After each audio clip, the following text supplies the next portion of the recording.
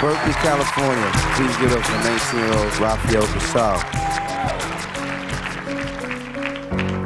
Sometimes I feel like I'm sitting in the back of Barbie and Ken 101. A class we're all in but never seem to learn from.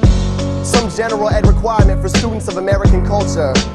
One that convinces even the brightest of young women that sex is survival of the thinnest, and I'm sick of this education that doesn't serve our best interest. My teacher has no face.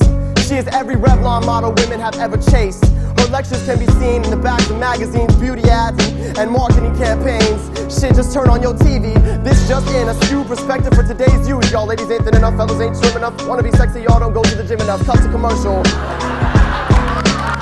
Come on. Just tune, just tune into their maintenance team. Tell you you're ugly, then tell you how to fix it with Maybelline.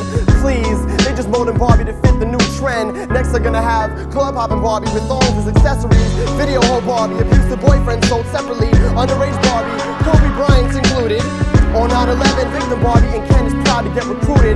Problem is, all these teachings are women's decay, and my girlfriend is sitting up front and she's getting an A. This is where I start getting really pissed off, okay?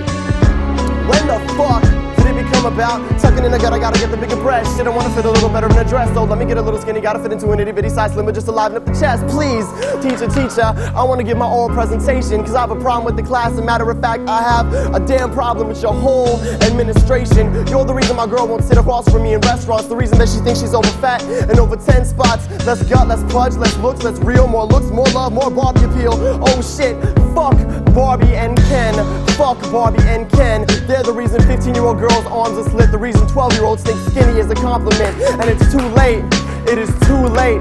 I can't ride my way through these bathroom doors. So I raise my hand in class because I can't take it anymore. Teacher, teacher, your lectures are all backwards. You got mothers and daughters forgetting what matters. Because above hips, ass, lips, legs, and Uggs, the most real ass shit is women who don't give a fuck. So screw all your teachings.